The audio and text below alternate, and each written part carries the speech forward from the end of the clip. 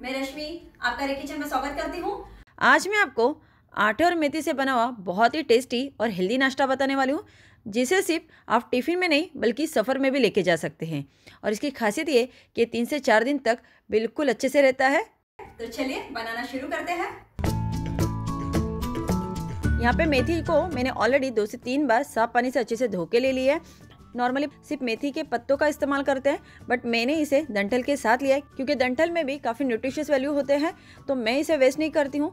इसके लिए मैं डंठल के साथ इसे एकदम बारीक चॉप करूँगी। तो चलिए, अब हम इसमें फ्लेवर ऐड करना शुरू करते हैं। यहाँ पे मेरे पास एक छोटा चम्मच रेड चिली फ्लेक्स है। आप चाहो तो हरी मिर्च भी डाल सकते हैं बट अगर आप बच्चे के लिए बना रहे हैं तो तीखापन आप थोड़ा कम रखें। साथ ही में एक छोटा चम्मच कद्दूकस किया हुआ लहसुन डालेंगे। इससे काफ़ी अच्छा फ्लेवर आएगा बट अगर आप नहीं खाते हैं तो आप इसे ना डालें। आधा छोटा चम्मच साबुत ज़ीरा, नमक स्वादानुसार। नमक थोड़ा हम कम ही डालेंगे। नॉर्मली जो हरी साग होती है, उसमें नमक कम ही डाला जाता है। यहाँ पे मेरे पास एक मीडियम साइज़ का प्याज था, जिसे मैंने इस तरह से बारीक काट के लिया है। इससे काफ़ी क्रंचीनेस मिलेगा। और इसे ज़्यादा हेल्दी बनाने के लिए मैंने यहाँ पे गाजर लिया है। एक मीडियम साइज़ का गाजर था, जिसे मैंने कद्दूकस करके लिया है। अब हम इसमें बाइंडिंग के लिए बेसन ऐड करेंगे। तो यहाँ पे मैंने एक कप बेसन लिया है बट हम इसमें पूरा बेसन एक साथ ऐड नहीं करेंगे। हम थोड़ा थोड़ा करके डालेंगे, और जितना हमें ज़रूरत लगेगी, उतना ही हम इसमें इस्तेमाल करेंगे। तो अभी मैं इसमें पाव कप ऐड कर देती हूँ। और इसे हम हाथों से अच्छे से मिला देंगे। मेथी खाने में थोड़ी सी कड़वी होती है इसलिए ज़्यादातर बच्चे इसे खाना पसंद नहीं करते हैं बट हम इसे इतना फ्लेवरफुल और टेस्टी बनाएँगे कि जिससे बच्चे एक के बदले दो खा जाएँगे। ये देखिए, सारी चीज़ों में बेसन अच्छे से कोट हो गया है। तो आप देख सकते हैं कि एक कप मैंने बेसन लिया था, उसमें से पाव कप बेसन मैंने छोड़ दिया है, यानी कि तीन चौथाई कप बेसन मुझे यहाँ पे लगा है। तो ये अभी काफ़ी ड्राई मिक्सचर है तो अब हम इसमें थोड़ा थोड़ा करके पानी ऐड करेंगे और इसे अच्छे से मिला देंगे। हमें इसकी एक पोरिंग कंसिस्टेंसी वाला बैटर बनाना है। तो ये देखिए, अभी मैं इसे हाथों से मिला रही हूँ, जिससे कि सारी चीज़ें अच्छे से मिल जाए। मैंने इसमें टोटल पाव कप पानी डाला है और आप इसकी कंसिस्टेंसी देख सकते हैं कि ये अभी भी काफ़ी गाढ़ा लग रहा है। तो इसमें हम और थोड़ा पानी ऐड करेंगे और इसे थोड़ा सा और सेमी लिक्विड ही बनाएँगे। ये देखिए, इस तरह की पोरिंग कंसिस्टेंसी होनी चाहिए, जिससे कि ये पैन में आसानी से फैल जाए। टोटल यहाँ पे मुझे आधा कप पानी लगा है। ये परफेक्ट कंसिस्टेंसी है। तो चलिए, अब हम बनाना शुरू करते हैं। गैस पे मैंने पैन चढ़ाया है।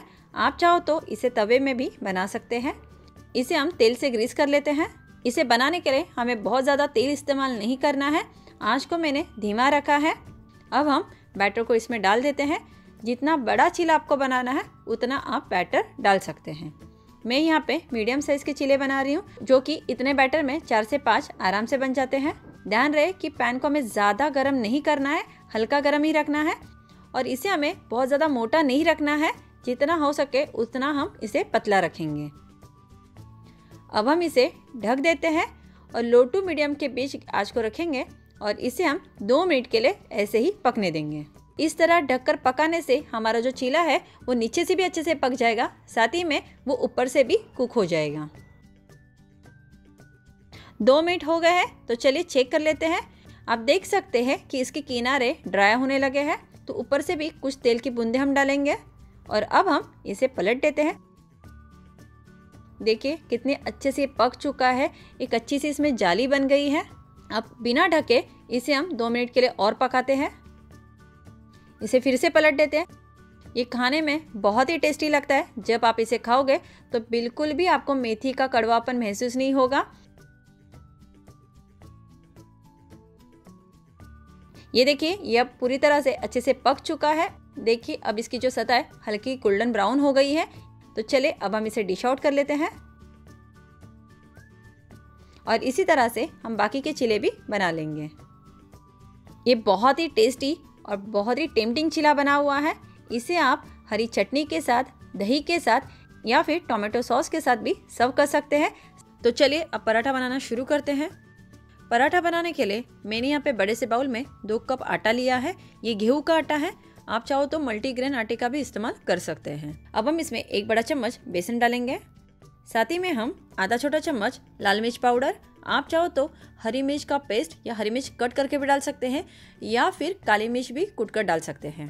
पाव छोटा चम्मच हल्दी, एक छोटा चम्मच धनिया पाउडर, पाव छोटा चम्मच गरम मसाला, आधा छोटा चम्मच आमचूर पाउडर, इससे हल्का सा खट्टापन मिलेगा। नमक स्वादानुसार दो छोटे चम्मच सफ़ेद तिल, इससे इसका लुक भी अच्छा आएगा, साथ ही में एक हल्का सा नटीनेस मिलेगा। यहाँ पे मैंने इस तरह का खलबत्ता लिया है। तो इसमें हम दो मसालों को हल्का सा कूट कर लेंगे। तो यहाँ पे मेरे पास एक पाव छोटा चम्मच ज़ीरा है, साथ ही में पाव छोटा चम्मच अजवाइन डालेंगे और दोनों को हल्का सा कूट कर एक दरदरा पाउडर बना लेंगे। ये देखिए, इसे मैंने अच्छे से कूट लिया है। तो अब हम इसे भी इसमें डाल देते हैं। यहाँ पे मेरे पास दो लहसुन की कलियाँ हैं तो इसे भी मैं ग्रेटर से ग्रेट करके डालूँगी। अगर आप लहसुन नहीं खाते हैं तो आप इसे ना डालें। बट इसे फ्लेवर अच्छा आता है तो मैं इसे डालना पसंद करती हूँ। साथ ही में पाव छोटा चम्मच अदरक को भी इसी तरह से कद्दूकस करके डालेंगे। तो चलिए, अब ये जो कटी हुई मेथी है, इसी भी हम इसमें डाल देते हैं। तो यहाँ पे मैंने दो मुट्ठी मेथी को डाला हुआ है और जो बची हुई मेथी है, उसे मैंने साइड में रखा हुआ है, क्योंकि उससे मैं सब्ज़ी बनाने वाली हूँ। एक छोटा चम्मच तेल डालेंगे।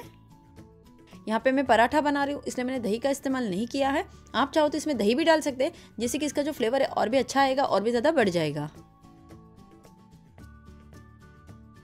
इसे मैंने अच्छे से मिला दिया है। अब हम करेंगे कि इसमें थोड़ा थोड़ा करके पानी ऐड करेंगे और एकदम बिल्कुल जैसे रोटी का आटा होता है, वैसे हमें गुनना है।